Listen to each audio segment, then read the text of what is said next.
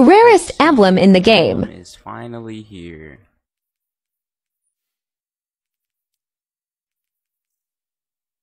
Oh shit. My Bungie Bounty emblem has arrived. Let's go.